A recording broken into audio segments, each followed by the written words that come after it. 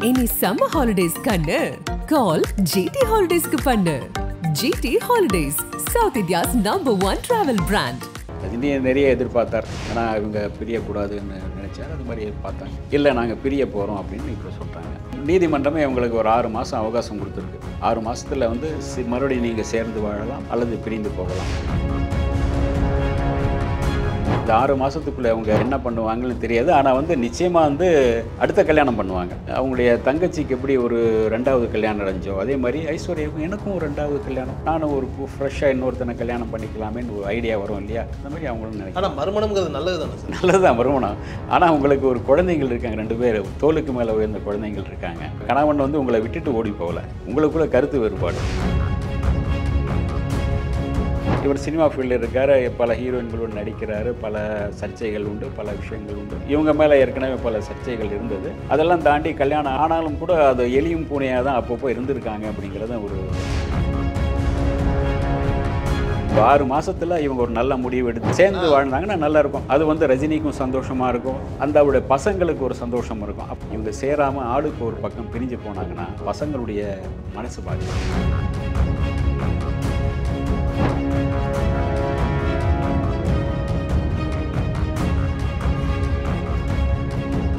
ஆகாயம் நேர்களுக்கு வணக்கம். நான் உங்கள் அஷ்ரஃப் இன்று நம்மோடு இருப்பது பத்திரிகையாளர் திரு சபிதா ஜோசப் அவர்கள். சார் வணக்கம்.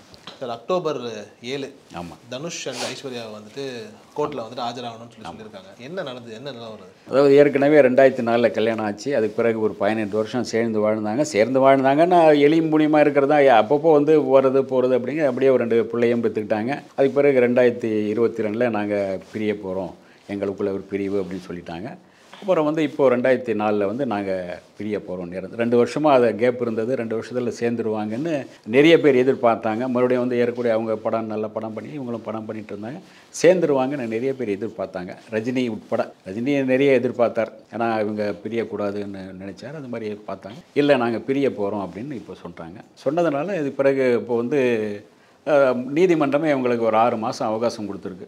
ஆறு மாதத்தில் வந்து மறுபடியும் நீங்கள் சேர்ந்து வாழலாம் அல்லது பிரிந்து போகலாம். இந்த ஆறு மாத அவகாசத்தில் நீங்கள் வந்து உங்களை வந்து நிறைய ரீகலெக்ட் பண்ணிக்கலாம். உங்கள் குழந்தைகளுக்காக வாழணுமா? அல்லது நமக்காக வேணும் வாழணுமா? அப்படிங்கிற மாதிரி ஒரு நிறைய சந்தர்ப்ப சூழ்நிலை இப்போ கோர்ட் கொடுத்துருக்கு. நீதிமன்றம் கொடுத்துருக்கு. இந்த நீதிமன்றத்தினுடைய இதை உட்படி இவங்க வந்து என்னென்ன பண்ண போகிறாங்கன்னு தெரில ஆனால் குழந்தைங்கள் பார்க்கலாம் பார்த்துக்கலாம் அது வேறு விஷயம். அது ஏற்கனவே தெரிஞ்ச விஷயம்தான். இவங்க மறுபடியும் வந்து தனித்தனியாக போயிடுவாங்களா இல்லையா அப்படிங்கிறது தான் ஆறு மாதம் அவகாசம் இருக்குது ஆறு மாதத்தில் நீங்கள் என்ன வேணாலும் பண்ணலாம். அஞ்சு நிமிஷம் பண்ணாலே அஞ்சு நிமிஷம் கிடைச்சாலே இவங்க யார் யார் என்னென்னமோ பண்ணுறாங்க நடிகன்கள் நடிகைகள். என்ன பண்ணுறாங்க புரியல. அது என்னென்னமோ பண்ணிடலாம் சார். அது அஞ்சு நிமிஷங்கிறது உங்களுக்கு என்னமோ பண்ணலாம் நல்லதும் பண்ணலாம் கெட்டதும் பண்ணலாம் அந்த மாதிரி நிறைய விஷயங்கள் இருக்குது அஞ்சு நிமிஷங்கிறது. ஆறு மாசத்துல உங்களுக்கு நிறைய இது இருக்குது இவங்க சிந்திக்கவும் ஒரு ஆறு மாதம் தன் தன்னை பக்குவப்படுத்தவும் ஆறு மாதம் இருக்குது இந்த ஆறு மாதத்துக்குள்ளே அவங்க என்ன பண்ணுவாங்கன்னு தெரியாது. ஆனால் வந்து நிச்சயமாக வந்து அடுத்த கல்யாணம் பண்ணுவாங்க. அவங்களுடைய தங்கச்சிக்கு எப்படி ஒரு ரெண்டாவது கல்யாணம் நடந்துச்சோ அதே மாதிரி ஐஸ்வர்யாவுக்கும் எனக்கும் ஒரு ரெண்டாவது கல்யாணம். நானும் ஒரு ஃப்ரெஷ்ஷாக இன்னொருத்தனை கல்யாணம் பண்ணிக்கலாமேன்னு ஒரு ஐடியா வரும் இல்லையா? அந்த மாதிரி அவங்களும் நினைக்கிறாங்க ஆனால் மறுமணம்ங்கிறது நல்லது தானே சார்? நல்லதுதான் வருமானம் ஆனால் உங்களுக்கு ஒரு குழந்தைகள் இருக்காங்க ரெண்டு பேர்.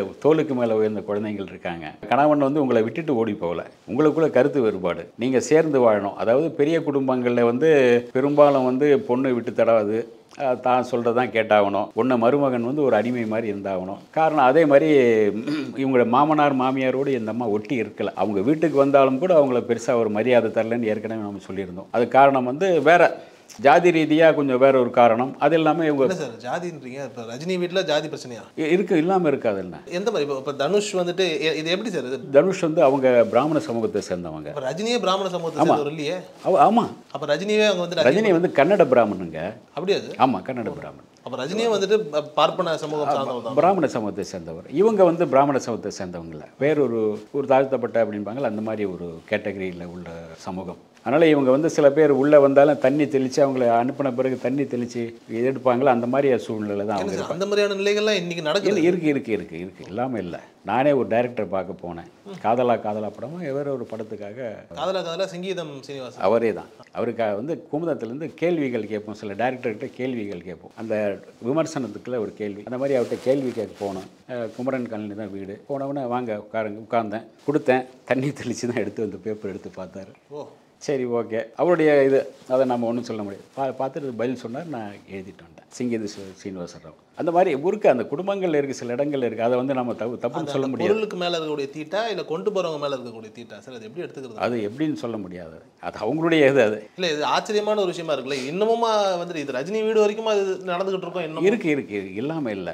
அது வெளியே தெரியாது நமக்கு. சில இடங்களில் வீடுகளில் உள்ளே இருக்கும். சில இடங்களில் குறிப்பிட்ட எல்லைக்குள்ளே தான் நீங்கள் வந்து அதுக்கு மேலே போக முடியாது சில இடங்களில். ரஜினியை வந்து ஒரு ஃபார்ம் ஹவுஸ் ஒரு இது இருக்கு இல்லையா? கேளம் பக்கத்தில் ஒரு பங்களா இருக்குது அந்த பங்களா வந்து சுற்றி பார்த்தீங்கன்னா பெரிய ஒரு பங்களா. அந்த பங்களாவில் வந்து நீச்சல் குளம்லாம் வச்சுருக்காரு இது பண்ணியிருக்காரு.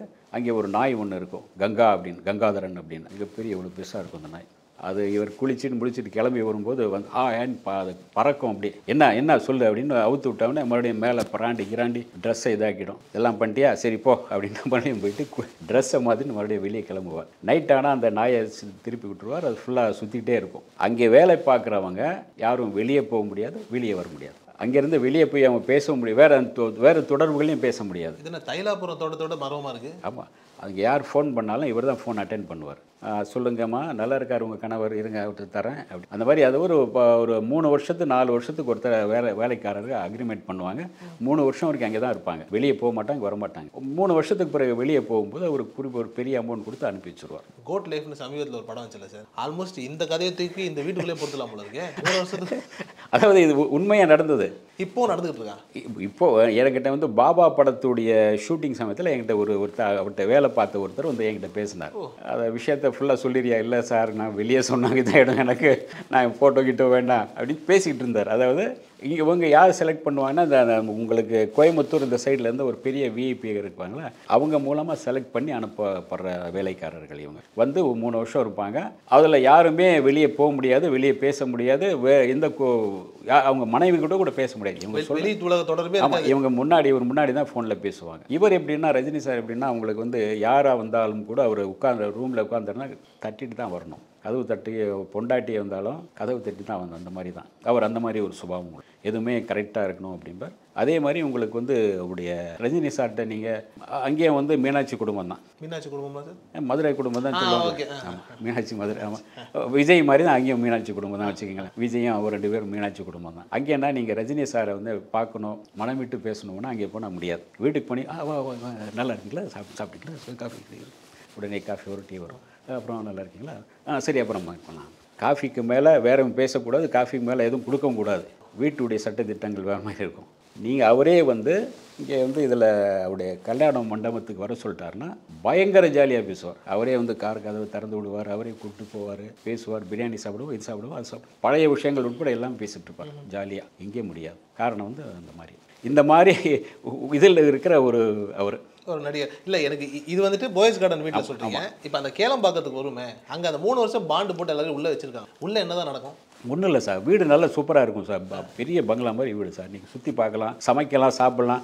என்ன வேணாலும் நீ சாப்பிட்லாம் சமைக்கலாம் சாப்பிட்லாம். அவர் அங்கேயே இருக்கலாம் அவ்வளோதான் வெளியே போகக்கூடாது அப்படிம்பார் ஏன்னா ஒரு நடிகர் வீட்டிலேருந்து நீங்கள் வெளியே போனீங்கன்னா இவ ஓட்டவாயாக இருக்கும். எங்கள் ரஜினி சார் பண்ணுவார்.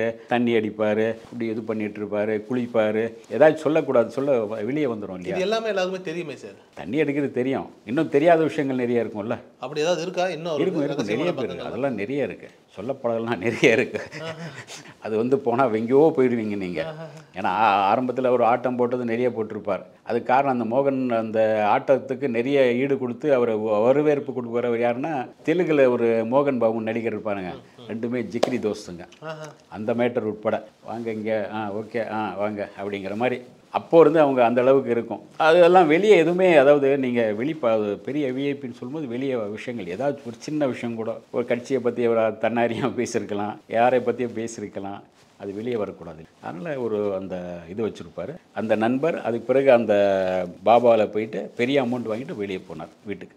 அவர் பெரிய அமௌண்ட் கொடுத்துருவார். ஒரு சேஃபாக ஒரு அமௌண்ட் கொடுத்து அனுப்பி வச்சுருவார். அது அவருடைய வேலைக்காரர்கள் அவர் அவர்- அவருடைய அவர் பாதுகாப்பில் இருக்கணும். அதே சமயம் அவங்களுக்கான எல்லா எல்லாத்தையும் கொடுத்துருவாரு. எனக்கு என்னன்னா இந்த பாய்ஸ் கார்டன் வீட்ல கூட இப்படி ஒரு ஸ்ட்ரிக்டான ரூல்ஸ் இல்லையே. கேளம்பாக்கம் தோட்டத்துல மட்டும் ஏன் இவ்வளவு ஸ்ட்ரிக்டான ரூல்ஸ் பாய்ஸ் கார்டன் நீங்கள் வ வர போக ஈஸியாக மை மெயினில் இருக்குது அது ஒரு பெரிய பங்களாவாக இருக்குது அந்த பங்களாவுக்குள்ளே நீங்கள் வந்து ஈஸியாக போயிட்டு வர முடியாது இல்லையா? அந்த நாய்கிட்ட மாட்டினாலே அவ்வளோதான் நீங்கள் சொன்னேன் அது மாதிரி நிறைய இது இருக்குது இங்கே வந்து கட்டுப்பாடுகள் வந்து இங்கே வந்து நிறைய கட்டுப்பாடு இருக்குது எனக்கு வெளியே தெரியாது.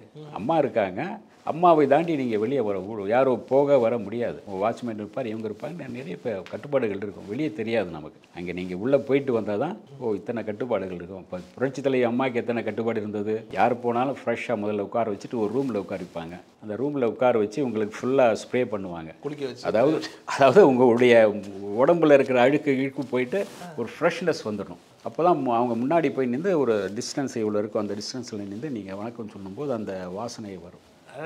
அதே மாதிரி அவங்க வந்து இந்த பேப்பர் படிக்கும் பாருங்க. பேப்பர் எடுக்கும்போதே தெரிஞ்ச வாசனை வந்து புது பேப்பர் அப்படின்னு. யாராவது ஏற்கனவே எடுத்து பிரிச்சுட்டான் அப்படின்னா தூக்கி வீசிடுவாங்க. யார் இது பிரிச்சாங்க ஏற்கனவே அப்படின்னு. அந்த வாசனை வச்சு அவங்க இன்னும் யாரும் படிக்கலைன்னு தெரிஞ்சிருப்பாங்க. அந்த அளவுக்கு ஒவ்வொரு வீட்டுக்குள்ளே போனீங்கன்னா அத்தனை கட்டுப்பாடுகள் இருக்கும். பேப்பர் கூட கைப்படாம இருக்கணும்னு நினைக்கிறேன் ஆமா- ஆமாம் அந்த பேப்பர் யாரும் ப கசக்கலை எடுக்கலை. இவங்க தான் ஃபஸ்ட்டு படிக்கிறாங்கங்கிற ஒரு இது. அந்த வாசனை வச்சு சொல்லிடுவாங்க. ஆனா வந்துட்டு உண்மையிலே இதான் ரொம்ப புதுசா இருக்கு சார். அதாவது ஜெயலலிதா அம்மாவை பார்க்க போனா குளிப்பாட்டி அனுப்புறான்றது வந்து குளிப்பாட்டுறது இல்லை. ஒரு அதாவது நீங்கள் வந்து எல்லாம் அடிச்சு. வேர்த்து போயிட்டு உள்ளே போவீங்க. அந்த வேர்வை நாத்தோடு அந்த போக முடியுமாங்க? அந்த வேர்வை நாற்று அந்த கிருமி வரும் இது வரும். அதனால் உங்களுக்கு இது பண்ணிட்டோம்னா நீங்கள் ஃப்ரெஷ்ஷாக அங்கே போய் நிற்கிறீங்க அந்த கிருமி எல்லாம் அவங்கள கடிச்சிடக்கூடாதுல்ல. அந்த முன் முன்ஜாக்கிரதையாக்கான ஒரு விஷயம் தானே. கொரோனாவுடைய ப்ரிகாஷன்ஸ் அங்கேயே பண்ணியிருக்காங்க ஆமாம் ஆரம்பத்திலே பண்ணிட்டாங்க சரி இப்போ இப்படி இருக்கும்போது இப்போ வந்து இந்த காலா கபாலி படங்கள்லாம் பார்த்து நம்ம வந்துட்டு அப்படியே சிலிர்த்து போய் சில்லறை எல்லாம் விட்டுறோம் அப்ப ரஜினி வந்துட்டு இவ்வளோ அதெல்லாம் டைரக்டருடைய தானே சார்? கரெக்ட் தான் சார். ஆனால் அப்போ கூட அது அவருடைய முகத்தில் வர்றதுனால நம்ம அவர் பண்ணுறதா தானே நம்புறோம். ஒரு தாழ்த்தப்பட்ட சமூகம்னு சொல்லக்கூடிய சமூகம் தான். பட் ஆனால் மேட்டர் அப்படின்னா இப்போ தலித் சமூகமாக இருக்கட்டும் எந்த சமூகமாக இருக்கட்டும் இவர் வந்துட்டு செய்யக்கூடியதை வந்துட்டு நம்ம என்ன நினைக்கிறோம்னா இல்லை இதில் வந்து பெருசாக இவங்க தீண்டாமல் இதெல்லாம் பெருசாக ஒன்றும் பார்க்கல. அதை நான் நம்ம வந்து நம்ம அந்த அளவுக்கு அவ்வளோ தூரம் நம்ம போக வேண்டாம். என்னென்னா நமக்குள்ள டிஸ்டன்ஸ் வச்சுக்கோமே அப்படின்னு. நீங்கள் இருக்கீங்க நாங்கள் வேற அவ்வளோதான் ஆனாலும் கூட நீங்கள் உட்காருங்க இங்கே பேசுவோம் பேசிட்டு போவோம் அவ்வளோதான் குறிப்பிட்ட எல்லா ரூம்லேயும் உங்களை கூட்டிட்டு போக முடியாது இல்லையா? அந்த எல்லா ரூமுக்குமே அனுமதி கிடையாது? அனுமதி கிடையாது. குறிப்பிட்ட அந்த ஒரு ஹாலுக்குள்ளே ஒரு ரெண்டு ரூமுக்குள்ளே நீங்கள் போகிற சில பேருக்கு ஒவ்வொருத்தருக்கு அந்தந்த ரூமோடு நிப்பாட்டுவாங்க. இந்த ரூமோடு நீங்கள் சரி இந்த ஹாலோட அவரு சரி அந்த இதோட அந்த வேலைக்காரனுக்கு இது சரின்னு வச்சுருப்பாங்க. அந்த மாதிரி. அவர் வந்து அதுக்காக அவங்க அதுக்காக தீண்டாமையில் அவரை வந்து இது பண்ணிக்கல. அவங்க அம்மா அப்பா வரும்போது அவங்க வந்து கொஞ்சம் உட்கார வச்சு பேசுவாங்க அவ்வளோ இல்லை தனுஷனுடைய குடும்பத்துக்கும் எல்லா ரூமுக்கும் போக முடியாத நெருக்கடியில் இருந்தது? அவங்க போக வேண்டிய அவசியம் இல்லையா அங்கே? இல்லை அப்போ கூட ஒரு மாமனார் மாமியார் வீடு இல்லை சம்பந்தி வீடுனா எல்லாரும் சுற்றி பார்ப்போம்ல சார் உள்ள போய் பார்ப்போம்ல அது வந்து நீங்களாக கூட்டு போய் சுற்றி பார்க்குறது சார். சில விட வீடுகளில் போனால் அங்கிளை கூட்டு போய் சுற்றி காட்டுங்க அப்படிம்பாங்க. அப்படி சொல்லும்போது தான் உங்களுக்கு நீங்கள் சுற்றி போய் பார்க்கணும். தனுஷுடைய அப்பாவும் மிகப்பெரிய அறிச்ச இவர் பெண்கள் விஷயத்தில் க ஒரு மிகப்பெரிய கண்ணியவான்லாம் சொல்லிட முடியாது. அப்படி பார்த்தா இங்கே ஆண்களே கண்ணியமான யாருமே இல்லாமல் இருக்குது சார். யாரை சொன்னாலும் ஏதாவது ஒரு இடத்துல. ஆமாம் இருக்குது அவர் அப்படி சொல்ல முடியாது. ஏன்னா அவர்கிட்ட இருக்கு வேலை பார்க்குறவங்கலாம் பெண்கள் தான் அதிகமாக இருப்பாங்க. பெண்கள் தான். அந்த அசிஸ்டண்ட்டு அது இவங்க இவங்க பெண்கள் தான் இருப்பாங்க. முதல் பையன் அவர். செல்வராகவன். செல்வர். அவர் கூட ரெண்டாவது கல்யாணம் பண்ணிட்டார். இப்போ தம்பிக்கு ரெண்டாவது கல்யாணம் பண்ணி வைக்கணும்ல. அதாவது சினிமாவில் வந்து நீங்கள் வந்து எல்லோரும் யோக்கியன்னு சொல்ல முடியாது. அவுடோரில் இருந்தால் வேறு மாதிரி இருப்பாங்க. இன்டோரில் இருந்தால் வேறு மாதிரி இருப்பாங்க. இங்கே வந்து ஒவ்வொருத்தருக்கு ஒரு இது இருக்கும். அதனால் சினிமாவுக்குள்ளே இந்த மாதிரி இவங்களுக்குள்ளே அந்த தொட்டும் தொடாமல் இவர் சினிமா ஃபீல்டில் இருக்கார். பல ஹீரோயின்களோடு நடிக்கிறாரு. பல சர்ச்சைகள் உண்டு. பல பல விஷயங்கள் உண்டு. இவங்க வந்து இவங்க மேலே ஏற்கனவே பல சர்ச்சைகள் இருந்தது. அதெல்லாம் தாண்டி கல்யாணம் ஆன பிறகு இவங்க ஒரு இதோடு இருந்தாங்க கட்டுப்பாட்டில் இருந்தாங்க. ஆனாலும் கூட அது எலியும் பூனையாக தான் அப்பப்போ இருந்திருக்காங்க அப்படிங்கிறத ஒரு அவங்க ம- அவங்களுடைய ரெண்டாயிரத்தி ரெண்டில் சொல்லும்போது அவங்க வெளிப்படையாக தெரியுது. இப்போ வந்து அவங்க என்ன சொல்கிறது அவங்க அவங்க அவன் அவர் கூட நான் வாழ விரும்பலைன்னு அவங்க வெளிப்படையாக சொல்லியிருக்காங்க. அப்பா கூட. வெளியே சொல்லலை அவங்க அப்பா கூட சொல்லியிருக்காங்க. அப்பா வந்து சமாதானம் பண்ணி எப்படியாவது நீங்கள் சேர்ந்து வாழுங்க. உங்கள் பேர பசங்களுக்காக அப்படின்னு சொல்லியும் கூட இவங்க ஏற்றுக்கலை பொண்ணு ஏற்றுக்கல அப்பா தரப்பில். அவங்க தரப்பில் வந்து சரி நம்ம எப்படி இத்தனை நாள் ஏன் ரெண்டு பேரும் எலி எதிரும் புதிரமாக இருந்துகிட்டே இருக்கீங்க. ஏதாச்சும் ஒரு நாள் முடிவுக்கு வாங்க. ஒன்று சேர்ந்து வாங்க இல்லை சேர்ந்து பிரிஞ்சிருங்க அப்படிங்கிற மாதிரி தான் இப்போ. இப்போது அதுதான். இப்போ ஆறு மாதம் இந்த குடும்பத்திற்கும் இந்த கோர்ட்டும் கொடுத்துருக்கு. இந்த ரெண்டு குடும்பங்கள் யோசிக்கவும் இவங்களும் யோசிக்க ஒரு ஆறு மாதம் அவகாசம் கொடுத்துருக்காங்க. ஆறு மாதத்தில் வந்து ஒரு நல்ல முடிவு எடுத்தால் அந்த குழந்தைகளுக்காக ஒன்று முடிவு எடுக்கணும். அல்லது இவங்க வந்து நல்லதோ கெட்டதோ ஏறக்குறைய ஒரு இருபது வருஷம் வாழ்ந்துட்டோம். இப்போ இருபத்தி நாலு இருபது வருஷம் வாழ்ந்துட்டோம். இன்னும் கொஞ்ச நாள் தானே வாழ்ந்துட்டு போகலாம் அப்படின்னு சொல்லலாம். இப்போ யாருமே வந்து வீட்டில் இருக்கும்போது தான் சாவி அது வேறு ஒரு படம் இருக்கும். வீட்டில் வந்து வீட்டில் ராமன் வெளியே கிருஷ்ணன் அப்படிம்பாங்க. எந்த ஆம்பளையும் அப்படி யோகியன்னு சொல்ல முடியாது. நான் உட்பட பெண்கள் விஷயத்தில். எல்லோருமே ஒவ்வொருத்தனுக்கு ஒவ்வொரு ஒரு மாதிரியான சபலங்கள் இருந்துட்டு தான் இருக்கும். அது வந்து வெளியே போகும்போது ஏதாச்சும் ஒரு நடந்துட்டு தான் இருக்கும். உண்மை சார். அந்த விஷயத்த அந்த யோகியனுங்கிற அந்த இடத்துக்குள்ளே நம்ம மேல் கொண்டு வர வேணாம் கொண்டு. கொண்டு வர. முடியாது. எப்படி இருக்கிறாரோ அவரும் நல்லவர் தான் ஆமாம் எல்லோரும் நல்ல எல்லாரும் நல்லவர் தான். ஏன்னா அது சூழ்நிலை தான் சார். அதாவது ஒரு சூழ்நிலை தான். ஏற்கனவே நான் உங்களுக்கு சொல்லியிருக்கேனா என்னன்னு தெரியல. கண்ணதாசன் ஒரு கதையில் சொல்லியிருப்பார். பசியோடு ஒரு நாய் அழிஞ்சு ஓடிட்டே இருக்கு. மூன்று ரெண்டு நாளாக ஒரு சின்ன எலும்பு துண்டு கிடைச்சாலாவது பரவாயில்ல அப்படின்னு அலைஞ்சு ஓடுது ஓடுது.